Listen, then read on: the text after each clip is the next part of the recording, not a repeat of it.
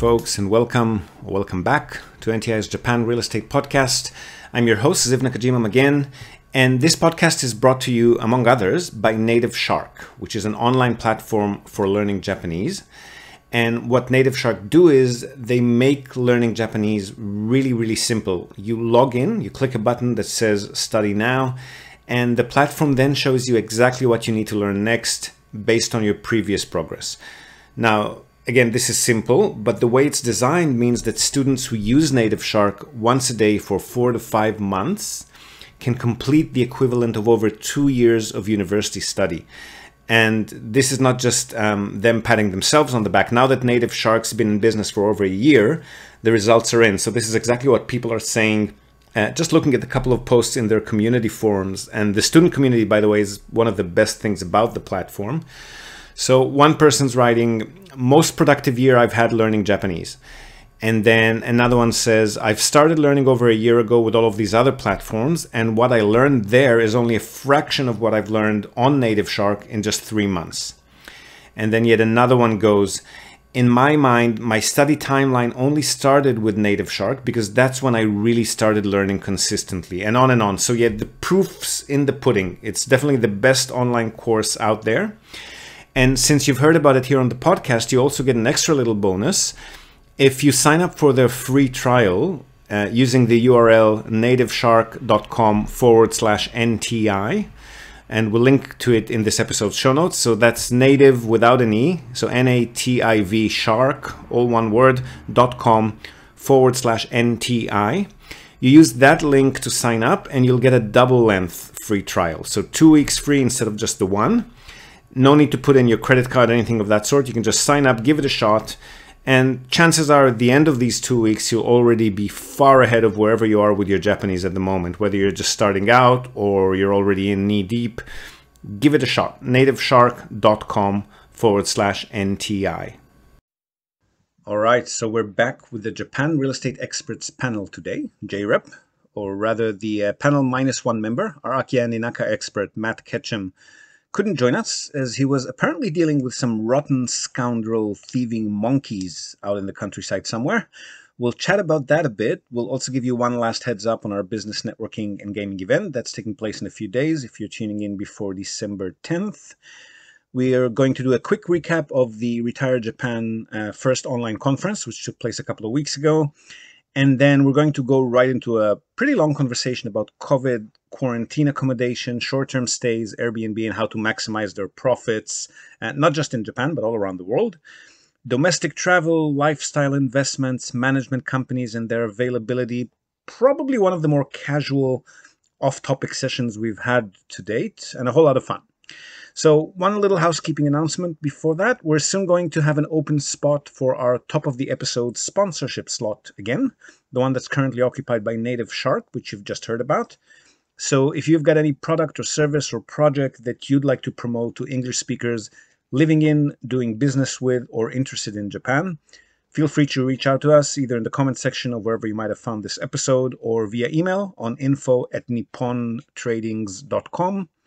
We'd be more than happy to discuss an advertising spot on the podcast with you. Prices are still very affordable, a lot less than what you'd expect it would cost, I'm guessing. And we can put you in front of, or, or rather inside the ear of uh, our 20 or 25,000 annual listeners here on the Japan Real Estate Podcast. All right, so without further ado, here's the Japan Real Estate Experts panel, JREP, or rather three quarters of the panel, talking about, well, lots of things. Enjoy, and I'll see you again on the other side. Got it. Hey, good afternoon, guys. Again, um, shall we get into it? Our little introductions. I think we've been working. Sure. We're only time. three. We're we're only three today, aren't we? We're not four. Yes. Yeah, we're missing uh, a good friend Matt Akiya in Inaka, um, the other half. But let's uh, Tracey. Why don't you start with your little uh, you guys, your, your names, usually on your names, you have like, oh, yes, says it, Tokyo based real estate agents. That's me. Um, so yeah, if you, oh, okay, I'll, I'm to start off. You can uh, start. I'm going to set anyone. Yeah. So anyone who uh, is looking to buy a house in Tokyo, I'm a real estate agent. I help uh, foreign families and and well, generally local residents um, buy their home in in Tokyo. Um, we also arrange financing. Uh, we have the, you know, we were licensed agents, so we have the loan officers assigned to our agency. So any questions about financing and stuff like that, uh, I'm your guy. Ziv. Yeah, um, Ziv Nakajima again. Uh, we do investment properties, holiday homes, land for development, commercial properties, any anything um, regardless of what kind of real estate it is. So we represent people who are dealing in real estate in Japan, and mostly we represent people who are not hands on. So either remote investors who are living overseas. Um, or people who live here but just um, don't have the time or the bandwidth or the language skills or the inclination to deal with it themselves or just need consultation along the way. So that's what we're there for. Tracey. Yeah, so so I am the short-term rental slash minpaku professional. So um, I've been running short term rentals for 10 years. So um, I have my own properties. I also rent from investors or I co host. So um, I do profit shares with people who own properties. Um, and I can help maximize revenues from um, from properties in Tokyo, but also I can help um, outside of Tokyo by advising the best way to set up a business and maximize the profits from short term rentals. That's me. I love okay. me some profit. so. cool. I will kick it off. Um, I got this. Ooh, Rubik's Cube. Yes, yeah. Rubik's Cube. It's on. There we go. um, yeah, um, Rubik's Cube.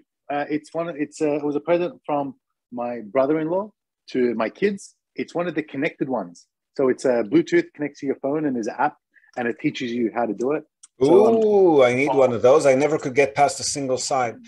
Yeah, yeah. Likewise. Um, so basically, in in the in basically a day and a half of playing around with it, I can now do it in about five minutes. After forty years of, of sort of considering trying to figure it out, um, well, thirty years, I guess, since I was a, a little kid, um, trying to figure it out. Finally able to do it in a day and a half, and it's pretty straightforward, pretty easy. Okay, um, Christmas so cool. is Christmas is coming up. That looks like it's a gift for my little for my little uh, for my little guy. But let him try it. Yeah. Let, let, him try it on his own first. Like the app only comes in after you fail, right? Oh, there you go. Uh, try not to get the. Oh well, there you go. It's a, it's Rubik's connected. Um, it's made by GoCube.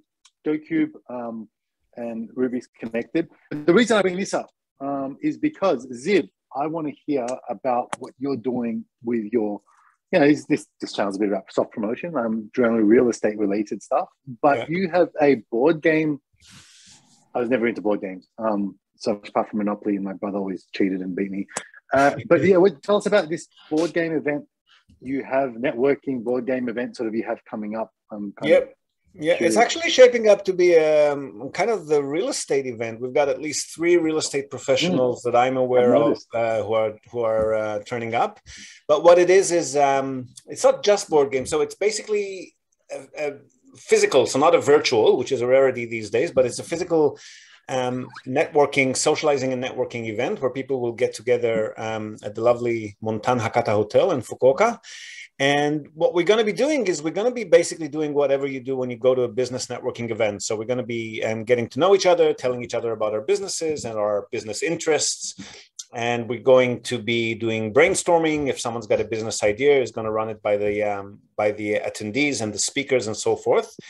But the um, the unusual, I guess, the unique factor to it is that instead of doing like silly, because it's a three day event, right? Like if you go to a normal business networking event that's like over um, you know a few hours on the evening or during the day, you basically have your little icebreakers. You wander around, you chat to a few people, you exchange business cards, might be a speaker, and it's it's kind of um, it's short enough to be comfortable but if it goes beyond a few hours it's usually a bit awkward. Like you stick to your cliques or you get little, little groups and you talk to the people that you know. So what we're doing here is instead of um, having an itinerary and the socializing uh, exercises or icebreakers we're just going to be playing games. So board games card games that, that's just nothing that quite brings people together like you know sitting around the table and learning the rules to a new game. And we got all levels. Like we got um simple little icebreaker party games, card games like um, Uno style, exploding kittens, all sorts of stuff where people uh, just go at each other and have fun. And we're going to have more um, medium complexity games that um, work on like puzzle solving, problem solving skills, resource management, um, risk management sort of thing. So a lot of stuff that actually translates very well into business arenas. And for the hardcore gamers who are probably going to be um, up uh, late, we're using the, we got the hotel, um, not to ourselves, but the public, public areas and the uh, conference rooms are ours. So we're going to be, uh, uh, be able to use them uh, every day until about midnight. So hardcore gamers will probably stay up late and go hardcore thematic games, aliens and zombies and strategic uh, war games and so forth but um, it's a real mix. So we're getting a lot of business people who sort of want to unleash their uh, inner geek and get to know other people and get to play some games. And we have quite a few gamers who've got business ideas and would like to uh, maybe test them out in a business setting. And uh, speakers wise, we've got Jason Ball, who's um, probably oh, familiar to yeah. expats in Japan. Yeah, the king of uh, networking. Um, so Jason's got uh, Jason's the owner um, and admin of the Business in Japan uh, online community, which is now about seventy thousand members, I think. So the biggest networking English language networking community in Japan. And he's going to be talking to us about how to establish business relationships in Japan, how to properly network, which is a little bit different in Japan as, as what we used to overseas. And he's going to be talking to us about the challenges that foreigners face when they're trying to do business with the Japanese for the first time, and vice versa. A lot of challenges that Japanese people need to wrap their heads around uh, when they're doing business with foreigners for the first time. And we're going to have Mario Long, who is um, co founder and um, CEO of Sakura Phoenix, which is a company that helps uh, children learn about business by setting up business and pursuing their dreams and putting ideas into. Um, into practice and he's actually together with his son he's actually as a, as a test case he's actually and designed and marketed and crowdfunded uh, board game, which uh, kind of ties into the whole theme of the event. So he's going to be talking to us a little bit about that. And uh, myself going to be talking about my favorite game, which is real estate investment, obviously. So looks like good fun. Well, Three days, and none of you are coming. I can't believe it that none of you. Well, how many? How many people are going? Um, at the moment, we've got there's going to be 12 or 15 of us that are there for the weekend, but a lot of people that are going to be coming in for a single day attendance on Saturday and Sunday mostly. Um, some of us will be coming in from uh, since Friday, so staying for the weekend, and a lot of people just popping in for a day at a time. So we got uh, ticket options are single day attendance, two day attendance, three day attendance, with a room, without a room, with meals, without meals. We've got all options out there. Yeah, oh, it's just just hard to, to decide because you know with small children it's it's uh, hard to get away. So, uh, yeah, you, your kids your kids kind of babysit themselves, right? You can let them loose in Fukuoka City. My eleven year old. oh, okay, maybe around the hotel, maybe. Yeah, around the hotel. Well, if he's got a screen, he's happy, right? So yeah, mine are eight, six, and four. So yeah, yours are too little. And, and and the weekends are just like well, you, no, no one has free. They don't have personal time. The, the weekends are just full with kids' activities. Soccer club, um, yeah. the soccer, basketball, jujitsu, um, rhythmic gymnastics, regular gymnastics. Jesus Christ! Yeah, yeah it's, it's it's unreal. I, am like I've missed up. What was it? There's there's um kids who'd have ma- marathons. Yeah, yeah. There's, there's My son does karate it. twice a week, and I'm not going beyond that. Like I am not putting in my weekends for soccer and baseball and basketball, driving around the country and doing camps and preparing sandwiches. No, thank you. Yeah. No, no, my, my kid catches the train on his own. It's just like fine now. So, or he rides his bike. So That's the spirit. But yeah. yeah, next events, um, we have gotten a lot of feedback that a lot of Tokyo people. We, we do have a few people from Tokyo and Osaka, but a lot of them, a lot more of them wanted to come, and um, they just really prefer it was if it was in Tokyo. So uh, next year's event is probably going to be in Tokyo. Yeah, well, uh, but but you know, what about sort of uh, like uh, you know, there's so many uh, remote places like Inaka places actually, I wish Matt was here. So, um, but there there are a lot of really good options that are in the countryside for running off sites and and um, um, that are all set up for you know th- that you really don't you don't really see as a foreigner unless you're sort of connected in that world we were actually looking really at um, we were looking at quite a few of those but i guess because they're minpaku they're not a hotel right so they really need to get their registrations uh, booked and paid or at least half paid in advance and because this is the uh, first event we just didn't want to commit to a few thousand bucks before we actually knew how many people are coming and with the hotels um, as you probably know, hotels in Japan are pretty lenient. Like you can make a booking reservation and only pay them two days in advance, even if it's for a group. Um, well, right, right now they easier. are. Too, right now they are too. With the borders closed, yeah. Um, yeah, right now they're they're hurting. So, yeah, having said that, they've yeah. run out of twin rooms already. Like um, they said, they're really sorry, but if anybody else books a twin room, they're going to put them in two singles, or they might put them in a four bedroom, which I, I guess the twins wouldn't mind. But yeah, they are um, they are filling up. I think with the with the i mean obviously we've got the whole border thing going and there's a new variant and so forth but domestically it's pretty laid back at the moment. People are definitely traveling a lot more, and the go-to campaigns come back, and um, they're they're slowly getting booked out. So um, yeah. domestically, is it's happening here. And it's also something for people, anyone watching the this uh, this video. Fukuoka is, is really a happening place. It's like place. you know, I I always you know Tokyo's great. I think you know if you're coming for a trip to Tokyo, you obviously you have to come here. But um, uh, but there are so many more places outside the Golden Triangle. You know, the the the Tokyo, Kyoto, Osaka. I mean, it's like Fukuoka is a really good place to go as a as a visitor. Uh, Nagasaki is amazing.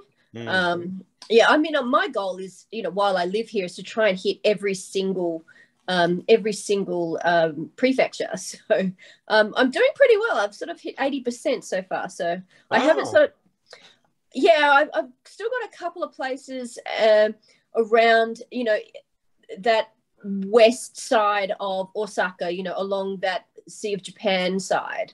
So uh, Tottori, I haven't been to, and some of those other places, but I don't know what's out there. So if anyone can enlighten me by sending me a message and tell me what's really good to see out there, I'm I'm up for it. We need Matt for that. We do need Matt for that. Yes. Um, He's not feeding goats today. Feeding monkeys, maybe. I'm not sure.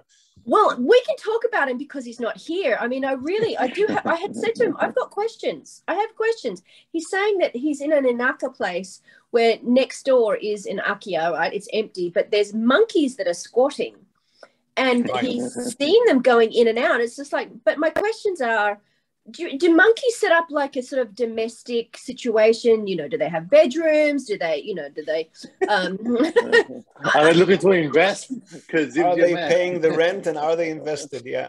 Right. And they've been stealing his sandals. Like what are they doing with his sa- like they're stealing his sandals from outside his front door. It's like okay well what are they doing with his sandals are wearing them? What are they doing Monkeys are like uh, crows i think. They steal anything that you know looks mildly interesting. They just pick it up and go yeah. So you know obviously something to think about when you when you visit uh, like especially inaka areas is like the wild boar and the wild monkeys. So yeah never a dull day. for the rattlesnakes. They're out there. Rattlesnakes. There are no rattlesnakes not, not rattlesnake um, um what do you call them? Uh, mushi mushishi? Mushishi? What, what, oh like the mukade no, no, no, no. It's a snake. It's a poison, It's a venomous snake. It'll kill you. I forgot the name though. They're pretty popular in the uh, in the long. You had me at snake. You had me at snake. Uh, like I, I, I, say, I say, little wiggle in the grass. I'm out. I'm going. Yep, same. Come on. Whereas we've all spent time in Australia. It's like all the wildlife there will kill us, but I'm just. I saw a snake up in Iwate just a couple of weeks ago, and when I was hiking up there, looking at Akiya, um, and uh, they, yeah, I saw a snake, and I just, you know, with the training of growing up in Australia, you just stop, right? Yeah. You don't move forward. It's like, oh, there's a snake, I'll go away. And you, they're more afraid of me than they I am. Um, yeah, yeah, yeah, Anyone, so, I was just listening to a podcast about it. Anyone that's ever been attacked by a wild animal is most likely their fault. Yeah, yeah YouTube absolutely. proves that time and time again. Yeah, absolutely, absolutely. Don't get out of your vehicle during a nature, yeah. like doing a, a safari, to, to, to pet a, a lion. the posed lion. Um, Rem- reminds yeah, me just, just to uh, summarize, just to summarize on the event. If you are happening to be watching this before the 10th of December, or rather before the 8th of December, because that's the end of the uh, booking date for us, um, flights to Fukuoka are really cheap at the moment. I think they're about 15,000 yen, so mm-hmm. about 100 and, and, a bit, 100 and a bit yep. dollars. Um, come come down for the weekend. It's going to be awesome. Yeah. And we'll link to the event in this episode's show notes and so forth. In the show notes, like and subscribe. Is that Let what you want to ask me, Just about the event? That, that, that, that exactly. that's that, no, no. that's exactly what I want to ask you because you know again the games and stuff like that. And I know you know you had something going on, and that, that seemed like a very relevant event. Yes, thank you. Um, to sort of talk about. The other thing I want to ask you is a real estate event that's just passed. Um, I think it was on Tuesday. So, uh, wow, who's it? Um, Ben Tanaka at Retire Japan. Yep. I think that Retire Japan, um, very, very great Facebook group, excellent forum. It's just a wealth of information for, for anyone who wants to know anything about NISA and uh, uh, iDeCo um, investment stuff in Japan. I bought his books um, maybe two or three years ago. I think like 2000 yen each, his ebooks. And I just, I was trying to figure out about NISA and, and iDeCo. um, just started like checking different websites and looking at different information. And it was just like all over the place. And so I'm like, okay, his books, so just download it. And for like, you know, 2000 yen a book. In English, they're probably the only source, right? Yeah, yeah, right. Um, definitely, you, you, can try to get some versions of it, but what it actually means, how it applies and stuff. Um, his books are just like, it's just a great summary uh, of, of how it, well, actually more than a summary, just like great sort of in-depth in details about how it works and the pros and cons and, and how to utilize it and, and what have you. So, but um, that the Retire Japan, I think, did their very first like Retire Japan conference. I think it was an online conference, um, and that seemed really interesting. And I wanted to participate. Um, and actually reached out to to Ben when we were doing the clubhouse group because I had the, the Tokyo club, um, and we were, that was pretty big. I'm like, you know, I was looking to get speakers and stuff for to to do events on the on Clubhouse, and I reached out to him, and he's like, oh, you know what? No, I'm not not so into that um, sort of stuff, and and being on those kind of programs. This but now it's pre-COVID, right? Uh, no, no, it was, it was about a year. It started this year, actually. Okay. I think this year he's like been getting into that and doing that stuff. And I noticed he he had um, he organized the uh, Retire Japan conference, first Retire Japan conference, which I wanted to do, but my kid had a jiu-jitsu tournament on all day. Again, one of these one of these things. But you were one of the speakers. Yep. So I'm very, very curious how like how how was it? I know it was like all online, sort of a a um like a, a was it WebEx or what?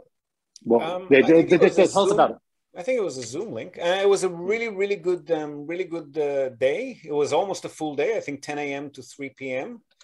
And um, initially, Ben was giving a presentation about just the basics of saving for retirement and personal finance and um, how to um, how to actually just change your mindset. Um, and he mentioned in a previous, we, we had a chat with him on our podcast the previous week and um, with Haley as well, um, who's helping him market these products to younger generations. And um, we, he sort of mentioned, and I think that's very right for a lot of us, that um, there's no point, you know, for people to actually realize that they need saving uh, or retire for retirement or investing in some way um, usually there's a trigger point, which is usually a pain point, like something actually happens to them. In his case, he lost his job. I know in my case, it was credit card debt, right? Like everybody, everybody has a like a particular point in their life where they suddenly realize like, oh shit, I need to do something about that. I need to make sure this doesn't happen again, right? Like, and um, there's a mindset change there. And we talked about a lot of things during his presentation. And one of the things that he mentioned, which, you know, was not really expanded upon in the conference, but it's because it's not really related to saving and retirement. But one of the ways to have more money when you um, retire, assuming that you're saving and investing, is to increase your income, right? Like, if obviously, if you've got more income, then you can also save more and you can invest more. And um, I think that's a lot of that is what we're doing um, here, either by you know running our own businesses. Each of us does that. Investing in property, each of us does that, and um, it was good fun. And following that, we had a presentation from um, Adam Millerchip, who is uh, helping Ben with creating the Retired Japan Wiki. So a Wikipedia-like database, because the, the community, as you mentioned, Emil, the community is great. I mean, you, you get in there, you ask a question, there's so many helpful people who will answer you right away. And you can sort of search through past discussions through the forum and try to find what it is that you're looking for. But a Wikipedia like database just makes it so much easier for people to contribute data, put it down under categories with certain keywords, links to other articles. So he's working on that and he was explaining how people can um, utilize that and contribute to that. And then we had Daniel Mills, who also lives in Japan, but is investing in the USA. He's originally from the USA and that uh, for various reasons, financing being one of the major ones, um, he prefers to invest in that market. So he was explaining all about the um, um, the pros and cons and the ups and downs of investing in uh, real estate in the US. and then I was last. It was really easy for me to uh, sort of segue and, and, and you know bounce back, uh, bounce off whatever uh, he mentioned, and then try to illustrate the differences between investing uh, in the USA, or I should say, investing in most Western countries, versus investing in Japan, because the market fundamentals here and the way things are done here are quite different. Um, so I was talking a lot about that. Obviously, ran over time as I always do. Um, but it was good. It was good fun. There were a lot of questions on all the presentations, I think, and uh, I ended up getting more and more questions following that uh, via email, and uh, people reached out on LinkedIn and so forth as well. at least one new customer already that I'm aware of um, that heard about us through the conference. So good fun, and obviously content. We love um, curating more and more content, right, and putting it on the YouTube channel, the podcast, what have you. Yeah, Fantastic. Yeah, because I saw that I was really excited. I thought, you know, this like I, I, really wanted to reach out and say, you know, I want to present as well because I think buying your own home, the way you know I've mentioned many times on yeah. here, uh, is probably like one of the the financially most financial prudent things you can you can do as a first step. Like basically the rent you're paying, just that goes into equity growth, right? Yeah. And that's for, for basically while whilst you're living. So um, yeah, I think that that was very very like, that would have been very relevant just to schedule didn't didn't work out for me. Um, I definitely love love what he does. So please do put the link um, below for the yep. Retire Japan website. Uh, the I think they get the Facebook group, uh, their forums, um, and we should try to reach out to Ben and get him. Well, I guess you you know him better than I do now. He's been on the podcast um, a couple of times already. It'll be good to have him there again. yeah. yeah. Yeah, okay, but um, yeah, I guess maybe with this, uh, I don't know, like a, a real estate sort of chat. I was going to do detailed interviews with everybody on the panel, but now we're just doing these interviews every week almost. So there's not much of a point of having you on a separate interview. Like, what will we talk about that we haven't already talked about? True that. True that. I guess I don't listen to your podcast. Sorry. Nothing. Yeah. You're not Joe Rogan. Um, Tim Ferriss. Tim Ferriss is my uh, kind of podcast, but that's not really doable in Japan, I think. Okay. Mm, okay. Yeah. Uh, um, I've got oh so I guess not real. I, yeah, back to sort of the, the Airbnb and short-term stays and stuff like that.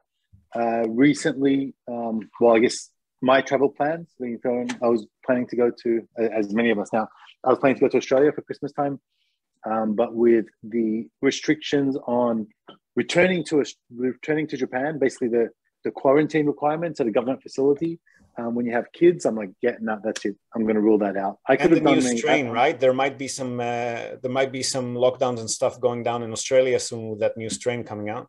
Uh, I, mm, you know, I don't. I feel that they're not going to lock down. I think that the government has already said they're not going to lock down domestically. Like they've already, they're not going to go back to lockdowns. They they've finished with the lockdowns. Most people are vaccinated. They're not going to do that again. Um, once they're out of lockdown, it's now living with COVID especially in, in Melbourne and, and, and in Victoria and New South Wales at least. But the issue rather for me was merely like when we come back, because of the new strain, um, we're going to have to do uh, government facility qu- uh, quarantine. Three and days. for us with, with kids, yeah. Um, well, currently three days. If it gets worse, like for Australian returnees, it's three days. If Is it gets worse, then oh, you mean in Australia? No, no, no. no. Coming back. Coming when back. we come back. Oh, in Japan, it's ten days, isn't it? No, no three days no they've changed the, the rules are changing daily. So you know what what we're saying today may not be valid tomorrow. Um, it's three days in a government hotel that's free of charge and that will include all meals. Um, you don't get a choice of your room. You do not get a choice of your location. They just uh, drop you there. And then you have to continue the rest of the 14 it's now back to a full 14 days from landing. Um, you have to do the rest of that at a uh, either at your house if you live you know with your family or yeah. if you can't you cannot travel on public transport during that time and you've got to sign all these agreements. Um, okay so that's that's still happening right? That's still so, happening and they've reduced that they haven't they you're not allowed to do the 10 day reduction anymore. Uh, they've they've the actually scrapped that. business. And oh so that's even worse now. Okay yeah. that that's a pain because there's not that many flights going in and out of Fukuoka at the moment. So for me to uh, go anywhere, I'd have to go through Tokyo, and then I'd have to be stuck in Tokyo for two weeks. And, uh, Precisely. Yeah, yeah. In but... an expensive hotel that's got to be yeah. uh, not not government mandated hotels, but they do have a list of which hotels you can stay at, right? No, no, you can come. Oh, any hotel? You can stay. So... you can no, you can come. I do quarantine stays. This is a me putting up my hand. I do plenty of quarantine stays. Okay. So if you're, and I've done that a number of times for people like yourself who who live in regional areas, they fly in, they need to stay for 14 days, um, and uh, yeah, so we even pick people up from the airport. So what's the cheapest you can get away with for that sort of um, uh. See, you're talking to a hard-working small business owner. Asking for the cheapest thing doesn't make my heart sing. I'm not interested in making your heart sing. Especially a little when... bit of income for you and a cheap trip for me. Sure, well, sure. It depends on which property. It depends on which property and depends on and on how long. So I'll I work I I do I, like I'm I'm really just at the moment I'm really just trying to look after people and I'm and it, there's I've already written off any profit um any profit oh, expectations. Okay. Uh, yeah, I'm I'm not expecting to make profits I really just want to cover my costs. So, and I've got different places. So, depending on how many people, depending on on the dates, um, I've got some options. So, um, yeah. Can it be I, at like business hotel price levels, or is it always going to be more than that? Kind of like uh, up to like uh, eight, nine thousand per night, or can it? Yeah, be... I can do that. Yeah. I can do that. Okay. Mm. okay. I think it also depends if it like you know, Trace also has some houses, right? Yeah. It's a two, three bedroom house. Like you know, you, that's not you know a few thousand in a night um, no. versus a, a, one LDK kind of place. But so, the, but the general rule is, you know, you need it's you need to quarantine for 14 days. Day arrival day is day zero. Um, yes. Before, depending on like from coming back from Australia, it was 14 days at home, right? So you take private transport from from Narita to like if you're in Tokyo to our house, and then we could have stayed here. And, we, and you can go to the supermarket, some essential sort of stuff, but we could have done it with the three kids at at home even though we felt it was a bit tight. But right now, it's if you're coming from Australia, it's three days at the government facility first, and then the remainder of the 14 days at home. At your house, yes. Um, or, or, or at a at a you know wherever, but basically like one of if you don't live in Tokyo, maybe one of you know an Airbnb type property, right? One mm-hmm. of Tracy's places. But because of that uh, hotel quarantine, the government facility quarantine requirement, with kids, it might be like a one room sort of place. I have no idea about the size of it. Yeah. It's not something we can do. And also, if during the month we're in Australia, we come back and it's changed to like now, I think the UK is six days, or if they change, you have to spend the full 10 days in in the quote in the facility. Might happen, yeah. Um, yeah. Um, and I heard just this, yeah, like that's too much with the kids. Um, and I heard also this morning, I was reading, um, like if you're returning from Africa, like some certain African countries, even if you're a resident, this issue they're doing before, even if you're a resident, they're not letting you return. Only Japanese citizens, not even permanent resident holders. Like, which is that's the, one the, of my main concerns. Is like, if there's suddenly a breakout in the country that I'm going to be traveling to, whether it's Israel or Australia or Thailand, then they could just flip on us and say you're not coming in at all, right? Precisely, yeah. So, so that's why we're we're staying um, put, and I guess we're going to have a great snow season without any tourists. So, making the most of that. But yeah, definitely impacting um, Tracy with some of the short term stay yeah. Look, opening I mean, up we were excited for. I, I look I'm I'm uh, I'm still optimistic to say I'm still you know optimistic because like you know the the news articles that I'm reading and maybe I'm just looking at an echo chamber um looking at picking the news that I want to read is that they have been very very cautious but all signs are quite positive right now in terms of it was for a hot minute it actually bad. looked like it actually looked there for like people were actually going to be coming back as soon as January, like the tourists and everyone. But yeah. Um, yeah, that's kind of like been put on the back burner again, hasn't it? That's right. I think it's that's right. I think it's might be like another three month delay at least mm. until uh, but, just for this one. But for people, if you're watching from inside of Japan, the JR rail passes have been opened up yes. for foreign passports. If you're a foreign foreign person on a foreign passport in Japan, you are able to get JR rail passes at amazing deals. So, looks like that for our little family, we could go to Niseko for five days or for three, well, three days skiing and, you know, two days traveling for much less than it would be for um, than flying. So does the train go to Hokkaido? I actually mentioned to somebody. Really? Is there like a bridge or something, or tunnel, or under ocean tunnel. path? Tunnel. Tunnel goes to Shin Hakodate. Yeah. Um, and uh, and then you just change to the local line.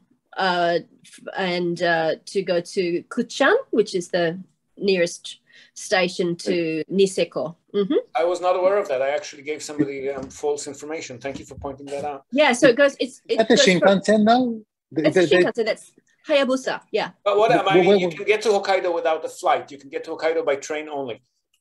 I was not you, aware that this was a thing. Thank you. But this this Shinkansen, because I remember a few years ago I heard that they're building the Shinkansen, so it's actually completed the Shinkansen from Tokyo that goes through to Hokkaido. Hakodate, Shin Hakodate. So it goes to Shin Hakodate.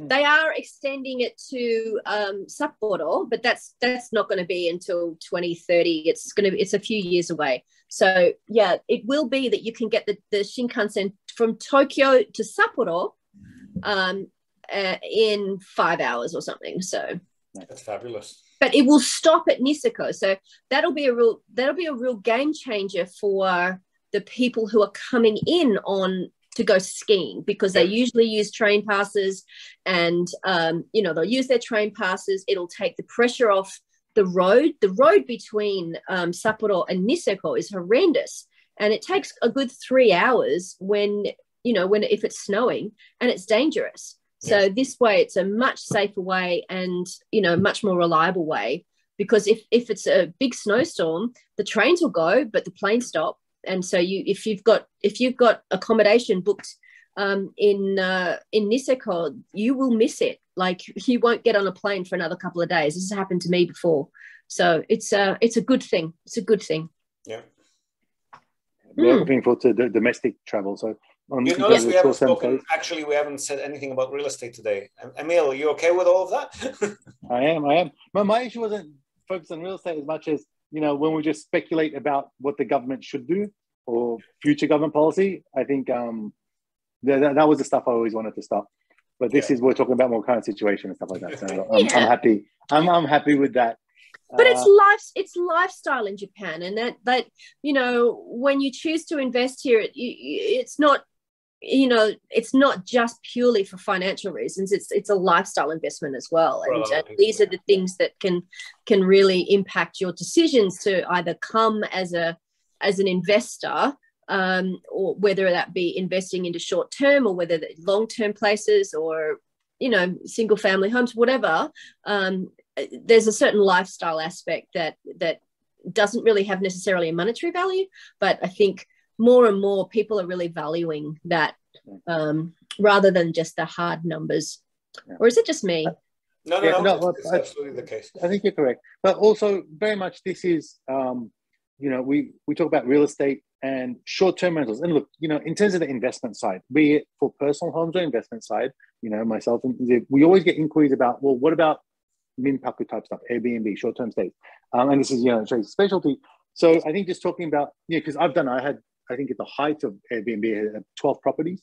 Now I've got six properties that are that are listed that that we do, and some of them now because of the situation, we're changing them away from from min minpaku to regular rental, right? Um, and so that's stuff that this discussion that we're having in terms of the struggles we're having as as hosts, as minpaku like investors in the, the minpaku side of the short term stay side of stuff, uh, is I think important for people to hear as well because you know, they think it's just the easy money, like you know, easy money. I'll just I just get investment property, put it on Airbnb, and make two or three times. It is in a lot of that. countries. It's I mean, it's a fair assumption to think that it could be similar here. And, and it was. It was. Um, oh, um, well, it, okay, I'll I'll I'll push back a little bit on that. It seems easy money, um, and but to really make the good profits it's not just putting putting a couple of curtains up on the walls and four you know four coffee cups and calling it a day. You can really dig in and maximize profits if you are strategic about your marketing strategic about your design who's coming in making sure that you know you're you've got a product that people are willing to spend good money on. Um, just making a cookie cutter um, you know a cookie cutter listing um, will doesn't will get you a certain amount of cash but digging in and, and really doing some decent marketing and uh, planning on your um, uh, on your customer base will will allow you to to really get much more profits that way. So that's, that's what that's, that's what you do tracy. That that's exactly that's what, what i do well. yes Um, yeah, no, but I mean, what, what, I was trying to say is that in, in other countries, like in Australia, for example, it is, I mean, it's not as simple as that, but it is pretty much a case of you got a place, you rent it out on Airbnb. You might make a lot of money, you might make a little bit of money, mm-hmm. but all the compliance and legal issues that um, that Japan, at least since 2018, has has put on that, they don't really. I mean, they exist in some places that are maybe suffering from over tourism or have had some issues with you know guests getting hurt in properties. So they did they did put their foot down and legalize it a lot more. But um, a lot of places around the world are still doable. I mean, you got a place, you rent it out on Airbnb, you make mm. money, right? The doors um, are shutting in America. In America, they're really going through some massive, um, some massive regulation issues, um, and there are various community groups, action groups that are um, that are for and against. And it's a it's a real battle um, right now. Um, that some places that was a matter of just put it up, build it, and they will come. Well, that's that. That's actually the market's maturing. It's not going to be that way. So actually, as it, we yeah. speak, as we speak, I'm just realizing I know somebody who's now um, working in Singapore uh, as senior management at Airbnb. I think I'm going to try to get him uh, on the podcast. That should be a really interesting person to talk to. Yeah, absolutely. Well, yeah. Yeah. So, yeah. um, like you mentioned, Tracy, the the market is maturing. The business yeah. model, the, the Airbnb short term stay business model is maturing, yeah. and yeah. So I think let, let let's not let's like remove government regulation and that that aspect of it aside. Just the product offering. I think when we started in Tokyo, like 2013, 2015, I think is when I uh, 2015 is when I first listed my first houses for Airbnb. I thought I'll just test the waters and stuff, and this was pre-regulation, but also it's quite new, right? Airbnb is just sort of in the market for maybe a year or two years. Like there's not many properties. That was a time you could just really anything would just stick, just because people coming, no one had any expectations. Clients, customers, visitors. It was just it's still quirky and novel. They didn't have a lot of expectation. Um, hosts would, you know, try like they'd bend over backwards um, to a degree. Some were just like trying to profiteer. Like it was, it was really just a, a mess. Um, some were doing really great work, some weren't, but customers weren't experienced enough yet, right? A lot of times it's their first day. But now over the years, I think the visitors are now able to know, like there's lots of reviews. They have an understanding of what their minimum expectation is. And they got more options, right? Yeah, they, they have more options, but also there's a bit of a shakeout, like in terms of the hosts. Now, hosts that are still doing it, there's no new hosts, brand new hosts. Oh, well, I've got a property. I want to put my room out for Airbnb without knowing everyone's quite experienced. If you want to come in new and not know what you're doing, you're going up against people like Tracy who knows what she's doing and she's and you hear when she speaks, she knows how she needs to market it, how she needs to take the photos, what additional services she should be offering. And so you come up and you're like, oh, I've just got a room, I'm gonna put it up, I've got my place, I'm gonna put it up without the right facilities, without it being kid friendly or the right sort of internet or pocket Wi-Fi facilities, the right kind of dishes and all that sort of stuff. Um, you're not you're, you're going to struggle. You're really going to struggle. The, the, the, and I think with anything, when it's new, the barrier to entry is so low and customer expectations are so low. Mm. Or like yeah. the, the customer expectations aren't there. And remembering at the well. time when we first got into it, Emil, like, you know, there wasn't a lot of opportunities for families to go and stay. Um, and so that but that was who the government was really pushing um, to come in but then there wasn't a lot of the infrastructure i mean the APA Hotel, for example, as a as a hotel chain, is is fairly new. Um, but there's still all those small business business size hotel rooms, which are not family friendly at all. And um, and you know, you being a family guy understand the needs. And so you were able to put together a product instinctively without sort of thinking much about it that was really needed at the time. And that's why you had the ton of success. That's how i also had a ton of success because because it was an instinct because i was almost the target customer as well. And that was who was that was the the majority of the people coming in. Um, and i picked up a ton of work as well from people that had gone into a place that you know arrived it was too ghetto and it was just like they would immediately be checking in and checking out because it was so bad. And so and then coming to a place like ours a few of um, those um, in europe. It was horrible actually. Oh yeah you check in and it's just like whoa okay. So um it, it did settle the you know having the regulations it did settle the market out. You know if you ha- it got rid of people that were opportunistic, who weren't really serious about hospitality, and uh, left the people who were prepared to jump through the hoops and do it because they, you know, they were doing it as a full-time job. They knew where their bread was buttered and they knew how to look after people to get the maximum amount of money. So that's what Emil was emphasizing, which I think, which we constantly emphasize to whoever contacts us uh, asking about this kind of thing is, um, yes, you can make money off it, but this is a job. It's going to be a, a half-time job, a full-time job. Even if you're hiring a professional like you, Tracy, you need to be communicating with them on a regular basis, making decisions on a regular basis. This is not like a once every couple of years do a renovation and in comes a new tenant, right? It's not a hands-off passive uh, income type of investment.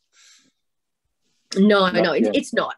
Um, but you've also got to like it and like you know enjoy the lifestyle. And you know we've been able to, uh, you know, have a lifestyle where my husband was involved. He was able to give up working in a restaurant. You know, he was a restaurant manager. Hours were awful for you know when he's got a family. It's it's awful. So it it suited us in a lot of ways, not just the financial, which was great, but it suited us in a lifestyle sense as well. And and um, uh, yeah, I've just really enjoyed the life. I'm wondering, Tracy, if you're ever going to be the one to pick up the uh, gauntlet and help us um, find a management solution for Inaka guest house properties. Like the only thing that people like, if somebody wants, of course, if they buy a like a big hotel or resort, then obviously they're going to hire staff. They're going to put somebody there. They're going to apply for a hotel license and so forth. Mm. But all of the people who want to buy just you know their little dream holiday home, you know, maybe four or five bedrooms and when they're not there they do want to rent it out short-term stay and they're happy to do what it takes but there's just nobody to service them in those areas right? Like how do you solve that? I mean Niseko's got a lot of yeah. management companies but you you know buying in Niseko is like a half million dollar exercise at the least right? Mm, yeah you have to be in an area that actually has the you know has the infrastructure.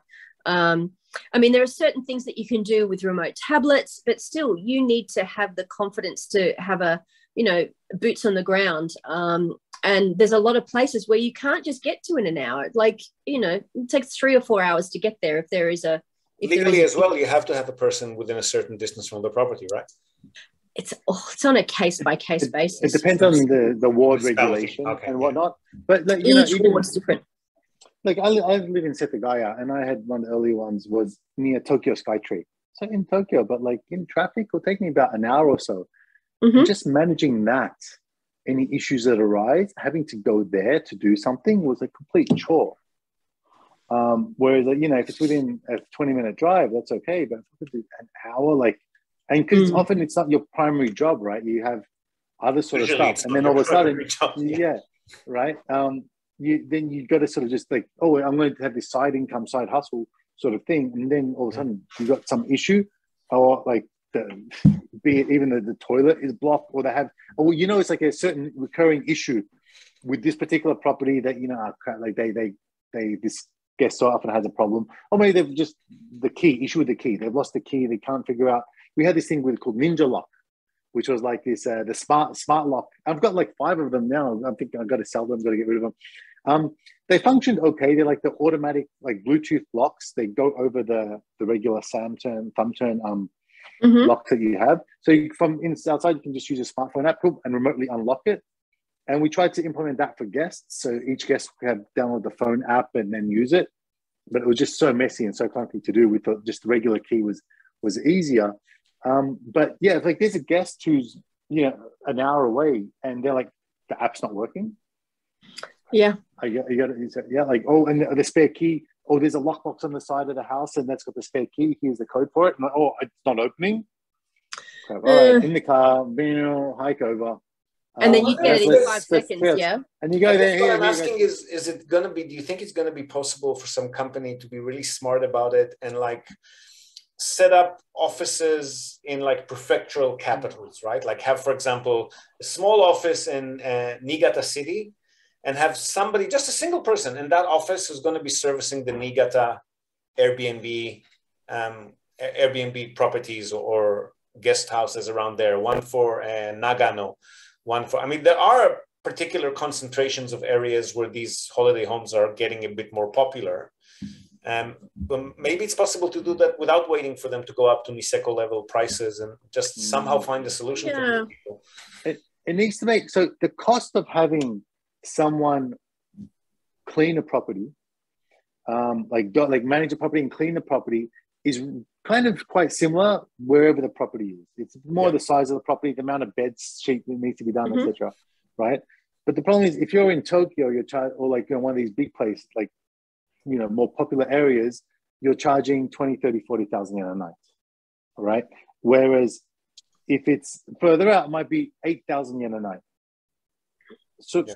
But the cost for the cleaning and maintenance stuff is kind of is is the same. So all of a sudden, the the cost of a clean for the property is like is like a one night, two night stay, plus the cost of cleaning is 50% your your yeah. your stay. Yeah right? Whereas here, the cost of cleaning is, oh, it's only 10,000 yen for cleaning.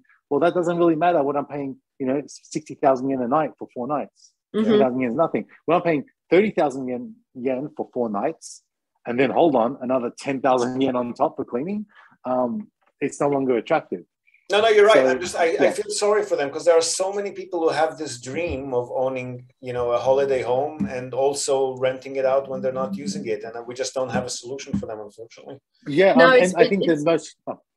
I was going to say it's really on a case by case basis, and like you know, may you know, make little hubs of your own, like you know, find the find the little find the other hosts in your area and share the share the resources. Um, not a bad idea, actually. And recognize well yeah and but recognize that the more the better organized that you are the more attractive you're going the more business that you're going to get it's not you're not going to com- not going to white out each other's business It'll, it's yeah. going to be like that you're you're going to have m- more things for people to choose and so the pie gets bigger. Yeah i don't so, think it's competition at all. I think it's actually a collaboration. Uh, that's actually a really good idea. Like if there's a bunch of these properties around these parts um, then as you know as a collective they can hire a single person to take care of them or they can hire yeah and see that's where i would see airbnb or Home Away or vrbo or whoever it is that's where i see that they could be of most use is to build these community relationships. But they're basically hands off. We provide the platform and that's it. It's like they're very yeah. hands off. They don't. Well, we're going to yeah. bring the Airbnb guy onto the podcast, and we're going to have a chat about that. Put well, him on the spot. I want. I do want to hold their feet to the fire. I mean, I, look, don't get me wrong. I love Airbnb, but I think I would like to push them to be better because they're missing a massive amount of opportunity. First of all, by by not raising the profile of just domestic, um, you know, the domestic market. Um, domestic people just it, it's not they just don't choose um, uh, to go with Airbnb when they when there's so many advantages of doing that. Um, but it's a mindset thing, and it and that means that it's up to Airbnb to perhaps sponsor a Netflix show which is local and show how the benefit of local communities. I'd I'd help produce a, Netflix show where you go into these local communities and you show that you do some renovations, you show that um, you show that you're helping other small businesses and how more people coming into those areas will just help everybody as a collective. Sounds like it'd be right up uh, Matt's alley as well. Absolutely, it'd be right up Matt's alley. But I mean, it, it shouldn't, and it shouldn't be a foreigner coming in and being on camera. Like it should not be that. It should yeah. be, it should be a Netflix series um, where it's you know Japanese communities and um, you know doing renovation it'll be a renovation show for example and and and then how to um uh, how to uh, you know uh, attract um, attract new money into the area by increasing domestic demand um, and showing all the little quirks of the area. I mean, you know, there are people out there doing that. Just need to give them the exposure, right? Well, they're on uh, they're on YouTube. There are there are Japanese guys doing that stuff on, on YouTube, and they they're fixing up places and trying to promote places and things. Um, and, and Matt, Matt does it as well. He like he tries to promote lo- local area, like a lot of his his newsletters and his, his videos and what have you, his Instagram. Um, but I think there's another issue. The, the other side of it is local residents.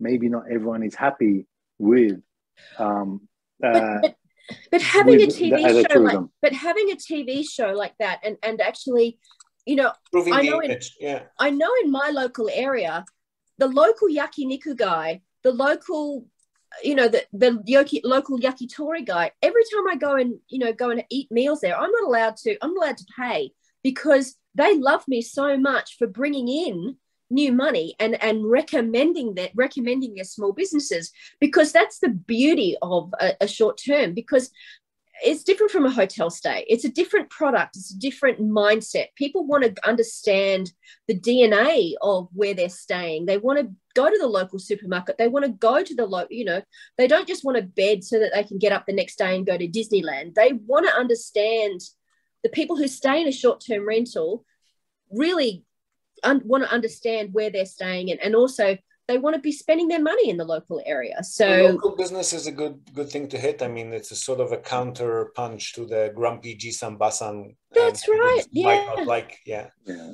Yeah, but the grumpy and, Jisan Basan next door is not going to be yeah. well, is not going to be welcoming of it. That, that, that's the problem. Like, not everyone is on side with, hey, let's have more strangers come to my local residence, where my, my home area, my my local neighborhood. Um, businesses, sure. yes, of course uh, local residents um, may not like that, that's why I mean it's it's it's hard to say oh yeah this is definitely good for the area because not not all yeah. the area is it's case by case again is, like you is, said is yeah. in is in agreement that that is the best way forward. But I mean, um, I think gonna, that's the issue. You're not going to convince the the the grumpy or Jishamba or Bachan. You're never going to convince them. It's the people in the middle who who are just unaware of what the you know the benefits are that need the educating right? The the, yeah. the Oji-chan, the Oba-chan, you're never going to convince them, so don't even try. It's yeah, the yeah, education of the middle market. To, yeah, I mean, you don't have to convince them, but they, they are residents and their opinion is still valid. Absolutely. They, so, so, so they, if they just don't like someone, like they don't want that change. I mean, that change is not necessarily good for everyone in that area, right? Not everyone is open to that. Not everyone wants it. And and problem is, local governments will also like you say, oh, let's open up, let's get more tourism and stuff. And they say, okay, like when Airbnb, when they first started regulating, okay, the most important thing with Airbnb regulation is we need to protect the community, protect local residents. So that's why a lot of um, districts had restrictions of you can't have it during um, like you can only have people on weekends or during school holidays, not when kids go to school. They can't interact with these like just people here and there, yeah, or like there's, only there's a reason, residential areas. There's a reason so, that Kyoto and Venice and you know international hotspots all around the world are having an issue with with short-term stays. I mean, they, they, they've got a case to make. I'm not saying they don't, yeah. but there, there, there does need to be a bit more of a balance, and I think Japan is a little bit skewed towards the conservative side here. Oh yeah, also, definitely. It, it is also the responsibility of the host to be a an active host and to educate it's it's i see my job as a host to be educating my guests on how to be good guests and making sure that they've got you know first of all if you're just looking for a party if you're just wanting a cheap bed then then i'm not your i'm not your host and and and really you're not you know it's not the right fit. But if you're really interested in in being a good community member then it's my job to also you know communicate those uh, community concerns and also give you the information that you can use uh, uh, to, to follow the rules. Um, and uh, so it's it's a it's a it's a delicate balance. It's a but again, it goes balance. back to it. Had like you said, you have to be active. You have to be involved. It's it's a job. It's a business. It's not a passive thing. So that's why part of the regulation to register your Minpaku property, you have to have if you're not if it's not part of your house if you're not resident there as a host you must outsource that task. You must have a contract with a management company a minpaku management company like what tracy uh, that's what has, i do yeah. Mm-hmm. because they they they need to have basically registered or licensed host the hosting company needs to be licensed because as tracy said the host needs to care and needs to have a whole bunch of considerations. So they can't just leave it up to the individuals I, guess they're also the not all created uh, equal, though, right? There are some management companies that you know just tick the boxes, and some of them that actually go out of the way to make it uh, work. Yeah, but but they're licensed. But yeah. like any management company, that is their proper registered business, and they have minimum requirements they need to meet, being reporting, um, uh, amount of like uh, phone support, etc. So it is not just a hobbyist; it's a proper. Um, it's a, you to get registered as a host as a management company is not an easy task. Um, so no, no, individual is just going to do it um, it, it, may not even be possible for an individual to, to get it because you need a certain level of real estate experience or an employee who's got a certain level of real estate experience in order to get uh, registered as a host. Mm-hmm. So, um, yeah, and because they know just an individual say, oh, I'll be a good host, I promise. They go, well, okay, you got to meet these requirements. And no, no. So registration to become a host, um, like a, a, hosting company, is quite challenging as well. Hmm. Yeah, and then they they want all the details, and, and also it's so that if there are any problems, they know that they can, you know, that they can come and point the finger at someone. They've got someone to blame. So, um, yeah. Yes. Yes, it's a challenge, but I mean, look, you know, J- Japanese Japanese regulations are are rough, but but there um, a lot of other cities are going through that now, and that's been because there's been a lot of hosts that have just been, you know, uh, um, vapor, not vapor. They've just been, um, uh, what's the word? I've got, I can't remember my English. No, all the hosts that are just, um, you know, are not involved, are not engaged, um, and or just let, you know, they're not vetting their guests. They're just letting anyone come in, and and it's just like, uh, you know, be careful what you wish for, type of thing. Like, you know, um, yeah, be careful. Be, yeah. yeah, but it will sort it out. Will sort itself out. I mean, hotels are regulated for a reason, and that's a liabilities thing. So, and and the same thing's going to happen. The way the way I look at it, it's like, well, you know, when cars were first invented, there were no seatbelts, right? Um, but um, but after a few accidents and after a few things happened, they went, oh, okay, well, you know, if we put these, if we if we get people to wear seatbelts, then there'll be less problems doesn't mean accidents won't still happen but at least people are not going to die. And that's sort of the same thing with with the regulations. It's like it's not necessarily a bad thing. Um, it just means that there's just an extra layer of protection for everybody um, in the market not just you know uh, you know not just the guests but the hosts and the community. So it's it's trying to cover all bases. Mm. Mm. okay. Um, i've got to jump off soon. Yeah. So, oh, yes. Mm. i do apologize uh, Thanks for your time again. And I'll um, now that we've gotten into this uh, rabbit hole, I'll definitely try to organize uh, somebody from Airbnb to come and have a chat with us. It'd be really interesting, I think. Yeah. For sure. Yeah. Mm. I think there are like little various community groups setting up, but there there's not a lot of. Yeah, I don't. I've been to a couple of meetings, but it's not a lot of forward motion it's just it's just a, a place for people to have a coffee and have a chat together it's not a lot of education and and uh, forward motion. Mm. Yeah. And I think I might just use this as a short call to anybody who is watching. Um, if you're somehow related to real estate uh, in Japan, or I would say maybe even in Asia generally, and you'd like to come on the show and give us a bit of a, uh, a preview or, or update on what's happening in your markets, uh, whether you're in Nagoya, Osaka, or anywhere in Japan that we're not really exposed to normally here on the show, um, this is an open invitation. So hit us up. We'd love to have you. And All right. we'll call it a day. Thanks, guys. Thanks, guys. We'll, hear about, we'll hear about Matt's monkeys next week then, hey? Yes, hopefully. Looking forward to it. Good, good luck with your event as well, Ziv. Cheers. See Cheers. ya. Bye. Bye. All right, that was a fun chat, wasn't it? Hope you've enjoyed it. And again, if you happen to be listening or uh, watching this before December 8th, you can still sign up for our weekend business networking uh, and board games, card games, strategy games event that's coming up this weekend, 10 to 12 December. Feel free to hop over to the event info and booking page. If you're already registered and attending, can't wait to see you all. And hopefully, in a couple of weeks' time, we'll be able to share some footage of the event with you, let you know how it went. Spoiler alert, it's going to be awesome. Now, before we go, we're also, as always, going to tell you and also link to our other sponsor's website. That's Hiroshi Shimizu, immigration lawyer and administrative scrivener. If you're thinking about moving here on a more permanent basis, or you're already in Japan on some sort of a temporary visa and you want to switch to a longer term or permanent one, or if you're considering setting up a local company or a branch office of a foreign company and you've got any sort of business or visa related inquiries, or even if you just want to find out what your options are on any of these topics, feel free to contact Hiroshi Shimizu. You can find him at japanimmigrationexperts.com. and he can help you set up a company, apply for any kind of visa, or just provide you with the best advice and extremely affordable consultation related to these topics. And he's already done that for many of our listeners. So feel free to reach out to him. Again, that's japanimmigrationexperts.com, and you'll be well on your way. And that's it from us for today, folks.